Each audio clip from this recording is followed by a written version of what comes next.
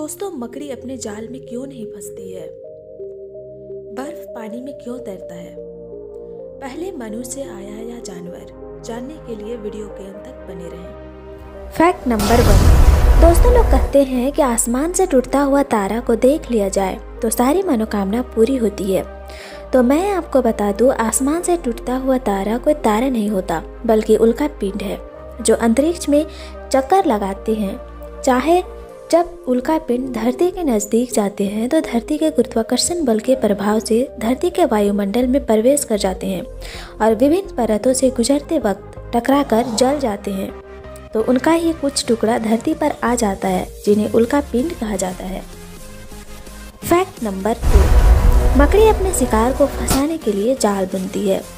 छोटे छोटे कीड़े इस जाल में आसानी से फंस जाते हैं। इन कीड़ों का जाल से निकलना काफ़ी मुश्किल होता है। लेकिन आपने कभी गौर से देखा होगा तो पाया होगा कि मकड़ी खुद उस जाल में एक दूसरे जगह आसानी से घूम लेती है।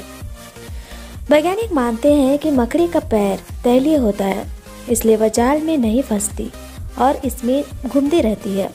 और मकड़ी के टांगों पर मौजूद बालों को मानते हैं, जिन पर जाले की चिपचिपाहट का असर नहीं होता है, इसलिए मकड़ी अपने जाल में नहीं फंसती है। फैक्ट नंबर थ्री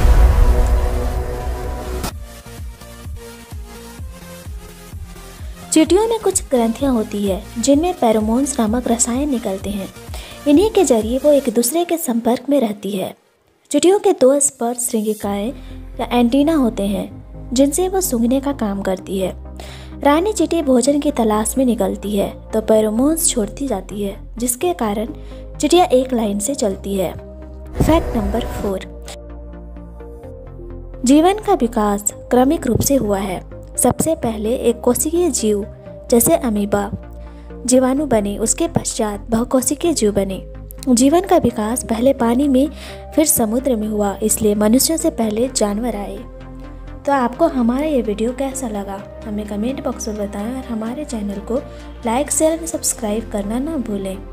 धन्यवाद।